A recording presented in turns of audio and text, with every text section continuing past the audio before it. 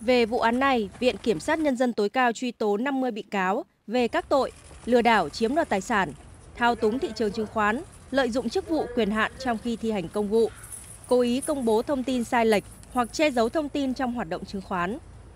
Bị cáo Trịnh Văn Quyết và các đồng phạm bị cáo buộc có hành vi nâng khống vốn điều lệ của công ty cổ phần xây dựng FLC Faros để niêm yết mã cổ phiếu ROS trên sàn giao dịch chứng khoán, rồi chỉ đạo bán, chiếm đoạt hơn 3.600 tỷ đồng của các nhà đầu tư.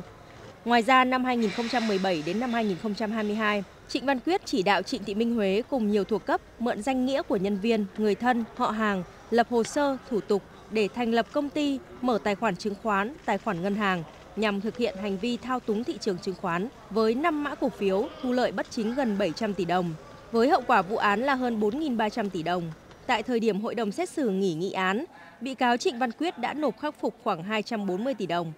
Cựu Chủ tịch FLC đề nghị hội đồng xét xử tạo điều kiện cho các bị cáo bán khối tài sản này, ước tính khoảng 5.000 tỷ đồng để khắc phục hậu quả vụ án.